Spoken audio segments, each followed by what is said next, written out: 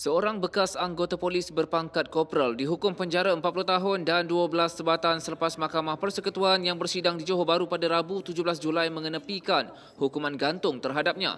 Tertuduh Muhammad Faizal Salim, 47 tahun yang didakwa membunuh kekasihnya yang sedang hamil pada 2015 berjaya dalam permohonan semakan hukuman gantung selepas panel tiga hakim diketuai Ketua Hakim Negara Tun Tengku Maimun Tuan Mat sebulat suara membuat keputusan. Berdasarkan pertuduhan, Muhammad Faizal didakwa membunuh Nur Zilawati Akmar Afandi berusia 35 tahun ketika kejadian di Taman Rekreasi Hutan Bandar Bukit Cantik pada 12 April 2015 dan tengah malam 13 April 2015. Laporan Bedah Siasat mendapati punca kematian Nuzilawati adalah akibat hentakan kuat kepada benda tumpul pada kepalanya.